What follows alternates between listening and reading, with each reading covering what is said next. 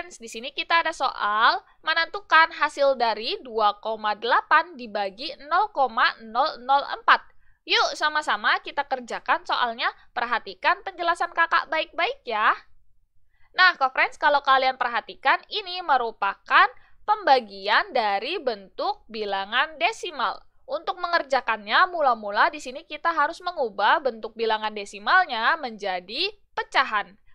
Di sini, untuk mengubah bilangan desimal menjadi bentuk pecahan, kita harus memperhatikan banyaknya angka di belakang koma nih, co-friends. Karena banyaknya angka di belakang koma sama dengan banyaknya angka 0 pada penyebut.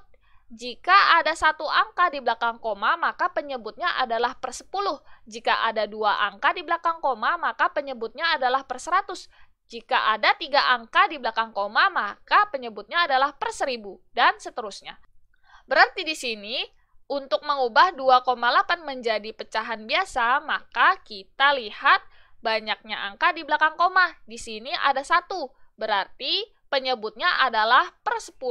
Maka kita tuliskan bentuk pecahan biasanya adalah 28 per 10 dibagi 0,04. Nah, 0,04-nya kita jadikan bentuk pecahan biasa juga. Kita lihat di sini terdapat tiga angka di belakang koma nih, friends. Maka penyebutnya adalah per 1000. Sehingga di sini bentuk pecahan biasanya adalah 4 per 1000. Nah, sekarang kita bisa hitung nih. Karena ini merupakan pembagian bentuk pecahan, untuk menyelesaikannya, kita pertama-tama harus mengubah tanda baginya menjadi tanda kali. Kemudian, kita harus membalik pecahan pembaginya. Yang tadinya 4 per 1000, kita balik menjadi 1000 per 4. Nah, sekarang karena ini sudah menjadi perkalian bentuk pecahan, kita bisa menghitungnya menggunakan metode penyederhanaan nih, ke friends. Di sini kita bisa sederhanakan 28 dengan 4, yaitu sama-sama kita bagi 4. 28 dibagi 4 adalah 7, 4 dibagi 4 adalah 1. Kemudian di sini masih ada lagi yang bisa kita sederhanakan nih, friends, yaitu 10 dengan 1000. Sama-sama kita bagi 10. 10 bagi 10 adalah 1, 1000 dibagi 10 adalah 100.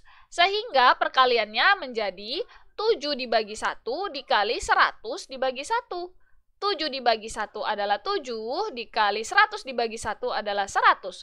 Maka kita hitung 7 dikali 100. 7 dikali 100 adalah sama dengan 700. Maka dapat kita simpulkan hasil dari 2,8 dibagi 0,004 adalah sama dengan 700. Nah, kita sudah selesai mengerjakan soal ini. Kalian hebat! Yuk semangat terus belajarnya dan sampai jumpa di soal yang lain.